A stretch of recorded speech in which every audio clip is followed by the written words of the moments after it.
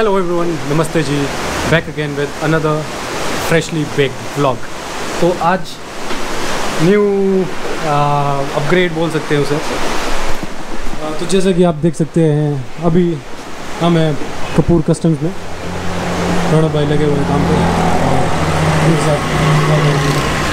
तो अभी के सीन्स हैंडल चेंज कर रहे हैं। तो वीडियो में बने रहिए आप। मैं बाद में बताऊँगा कि कौन सा हैंडल है। तो यस वीडियो की करते हैं, शुरुआत एंड लेट्स गो तो गाइज़ अभी के सीन्स जो स्टॉक हैंडल है, वो निकाल रहे हैं और इसके लीवर्स वगैरह, सब कुछ वायरिंग वगैरह खोल के, फिर उसके बाद दूसरा हैंडल है, वो लगाते हैं इसमें। पर उससे पहले भी काफ़ी काम है। तो गाइज़ अभी कटिंग चली हुई है।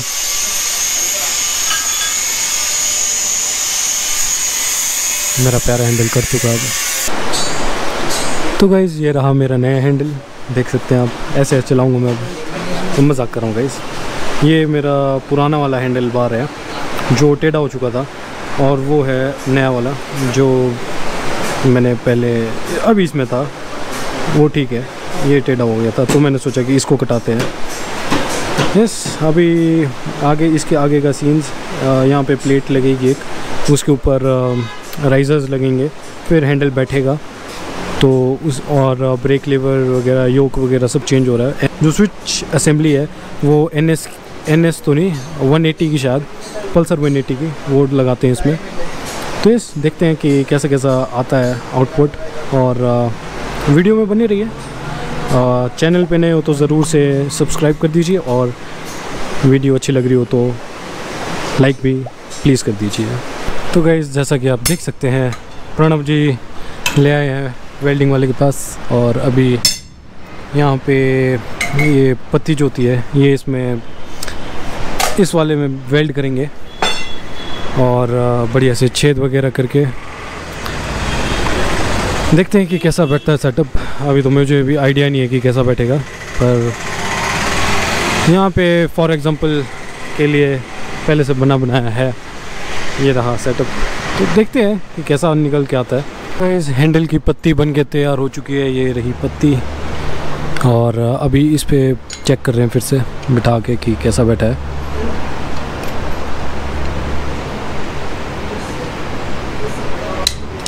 लो जी।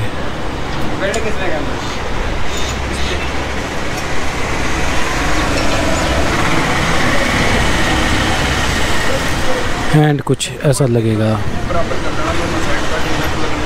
चलो, इसको कंप्लीट करते हैं, फिर मिलते हैं आपसे। ऐसा कुछ बन के तैयार हुआ है अपना हैंडल बेस और इसके ऊपर अभी हैंडल लगेगा। बाकी अभी इसे फिक्स कर रहे हैं तो देखते हैं कि कैसा आता है आउटपुट पहले मैं ना ये वाला हैंडल सोच रहा था लगाने का प्रो टेपर पर मैंने इसके ये नीचे जो ब्लॉक्स होते हैं, वो गायब कर दिए हैं तो उसकी वजह से दिक्कत हो गई है। तो एक और हैंडल है वही चेक कर रहे लगा के तो जब लग जाता है, तब दिखाता हूँ मैं आपको। तो गई अभी के सीन्स टाइम अपडेट इट्स 1:30 और दो घंटे हो चुके हैं काम करते हुए। दो नहीं, तीन घंटे नहीं, दो घंटे हो चुके हैं। तो अभी इसकी जो थ्रॉटल वायर है, वो छोटी पड़ रही है। तो उसको लंबा करने के लिए नीचे से थोड़ा सा एक्सटेंड कर रहे हैं। और हैंडल कुछ ऐसा लग रहा है अभी दिखेगा नहीं, वैसे यहाँ थोड़ा लाइटिंग का इशू है। पर जैसे ही मैं बाहर जाता हूँ, वैसे दिखाऊँगा आपको। गाइज़ मैंने कभी सोचा नहीं था कि हैंडल चेंज करने के लिए इतना सारा काम करना पड़ेगा। सब कुछ खुल चुका है बॉडी वगैरह देख सकते हैं आप। सिर्फ़ एक वायर के लिए थ्रोटल वायर के लिए, वो छोटी पड़ रही थी तो उसको लेंथ बढ़ाने के लिए इतना सारा काम। दोनों साइड से खुला है वैसे ये और देख रहे हैं अभी कि क्या एडजस्टमेंट्स कर सकते हैं। तो गाइज़ अभी के सीन्स जो स्विच असम्बली होती है ना उसको सेट कर रहे हैं स्विचेस वगैरह। तो इसमें लेफ़्ट साइड में यूज़ कर रहे हैं पल्सर का और हाँ जी? Pulsar D T S I Pulsar D T S I और राइट साइड में बुलेट का। थ्री क्लासिक तो जैसे ही सेटअप होता है ना वैसे दिखाता हूँ आपको। मैं सोच रहा था कि 180 वाला होता है ना अगर उसमें लाइटों वाला होता जो लाइट्स वाला होता है। चलो पर उसका भी क्या करना है? ऐसा भी ठीक है। ये रहा फाइनल लुक और कुछ ऐसा लग रहा है। आ, ये एनएस का ये नहीं सॉरी पल्सर का और ये बुलेट का। बाकी जुगाड़ करने के लिए जो इसका ओरिजिनल टी था वो काट के हैंडल बार जो था वो काट के एक पत्ती बनाई। उस पर दो छेद फिर ये क्लैंप्स फिर हैंडल बार और इनको लगाने के लिए एक एक छेद ड्रिल करके इसके अंदर हैंडल के अंदर। और ये लीवर भी पल्सर का ही है। ब्रेक ये योक भी पल्सर का है। बाकी ये सब तो स्टॉक था। पर गाइज़ अगर आप में से कोई भी हैंडल चेंज कराने का सोच रहा है ना तो मैं एक चीज़ बता दूँ कि इसकी वायरिंग वायरिंग में बहुत ज़्यादा कॉम्प्लिकेशंस है। जैसे अगर आप, जैसे ये दूसरा किसी का लगा रहे हैं ना बाइक का स्विच असेंबली तो इसके स्विचेस का वायरिंग थोड़ा टिपिकल जैसा पड़ता है। Time update it's four PM और सुबह साढ़े ग्यारह बजे से लगे हुए हैं तो समझ सकते हैं आपकी कितना टाइम लग गया इसे। यस बाकी यहाँ से अभी दो ऐसे पत्ती वेल्ड करके उसके ऊपर लगेगा स्पीडोमीटर कुछ ऐसे को। यस, ये ये प्लान्स हैं और राइडिंग पोजीशन कुछ इस तरह से है। ये ये वाला हैंडल बार जो है ना, ये थोड़ा सा ऊपर को है, यहाँ से एजेस से थोड़ा ऊपर को है। तो वो थोड़ा अनकंफर्टेबल होता है चलाने में। पर उसी जगह पे जो मेरे पास प्रो टेपर का हैंडल बार है अगर मैं ये लगाता तो this would have been much better option पर देखते हैं इसके राइजर्स वगैरह अगर मिल जाते हैं ना मेरे को तो मैं ये भी इंस्टॉल करके देखूँगा एक बार। यस yes, ऐसी ऐसी बात है बाकी बारिश लगी हुई है बाहर। तो यस yes, जब राइड करेंगे इसके साथ तो इसका पूरा पता चलेगा कि कैसा कैसा परफॉर्म कर रहा है। और बिग थैंक्स टू प्रणब भाई। आ, क्योंकि ना इतनी माथा पची ना हर कोई नहीं करता। ये प्रण भाई है हमारे स्पेशल बंदे। बस जी, करते हैं अभी। बाकी ये रही। और मिलता हूँ मैं आपको हेलमेट में। जब यहाँ से निकलेंगे ना तो हेलमेट में मैं माउंट कर दूँगा गोप्रो तो उस पर देख सकते हैं आपकी कैसा कैसा सिस्टम है। तो यस लेट्स गो तो गई जैसा कि आप देख सकते हैं, ऐसा लग रहा है कुछ हैंडल और भाई साहब बहुत ज़्यादा टाइम लग गया इसको बनवाने में। और ख़र्चा बैठा है इसका 600 के ये दोनों साइड के स्विच असेंबली 200 800 सर्विस सर्विस नहीं यार लेबर चार्जेस और आ, कितना 150 वेल्डिंग वाले ने लिया। तो टोटल रफली बैठ रहा है 17 1800 के आसपास। तो यस ऐसा ऐसा था। बाकी एक और बात इसमें अब डुअल ब्रेकिंग सिस्टम नहीं रहा। अब सिर्फ़ ये सिंगल है। पहले कॉम्बी ब्रेक था ना तो अब कॉम्बी ब्रेक नहीं रहा। जिसकी वजह से ब्रेकिंग में थोड़ा सा इशू लग रहा है। इशू तो क्या बोले, बस मेरे को अभी आदत नहीं पड़ी है ना इस चीज़ की। बाकी है तो सब ठीक। बस आदत पड़ने की देर है और होपफुली पुलिस वाले ना मिले क्योंकि इकतीस भी पास आ रहा है और वैसे वैसे ही पुलिस वाले और ज़्यादा स्ट्रिक्ट होने लग पड़ते हैं और सामने पुलिस वाले हैं। यू टर्न लेना पड़ेगा। और गई इसे बोलते हैं पुलिस वालों का खौफ। मैं वो वाला रोड लेफ़्ट बैंक जो नेशनल हाईवे है, वो छोड़ के अब दूसरे रोड से जा रहा हूँ। तो यस इन चीज़ों का यार मज़ा तो आता है पर ड्रॉबैक भी बहुत ज़्यादा होता है। तो यस ऐसी ऐसी बात है। बाकी मेन इसका जो परफॉर्मेंस सिस्टम पता लगेगा कि कैसा परफॉर्म कर रहा है हैंडल बार आ, वो सब जब अभी मैंने जैसे ये नीचे हेड रखा हुआ है ना इसका तो जब मैं ये साइड में रखूँगा। और डर्ट पार्क पे परफॉर्म करूँगा तब इसका पता लगेगा कि अच्छा सूट कर रहा है कि नहीं कर रहा है।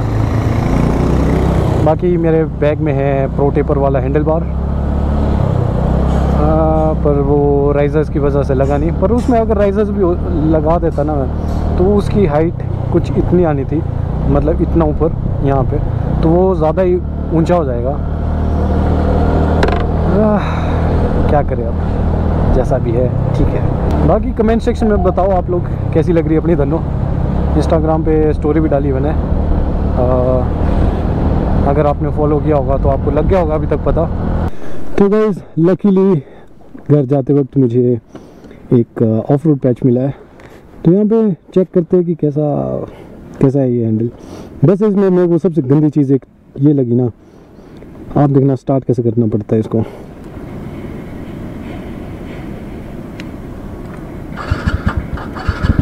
इसका किल किल स्विच जो है ये उल्टा है ना। और यहाँ से अगर ऑन करना है तो दिक्कत आती है। ब्रेक लीवर प्रेस करना है फिर यहाँ पे हाथ नहीं पहुँच रहा है यहाँ तक। तो दूसरा हाथ यूज़ करना पड़ रहा है। कुछ इस तरीके से। चलाने में कैसा है?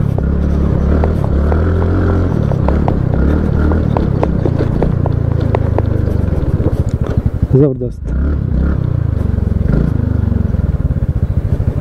मज़ा आ रहा है यार इसके साथ खड़े होके चलाने में। कॉर्नर भी अच्छे हो रहे हैं।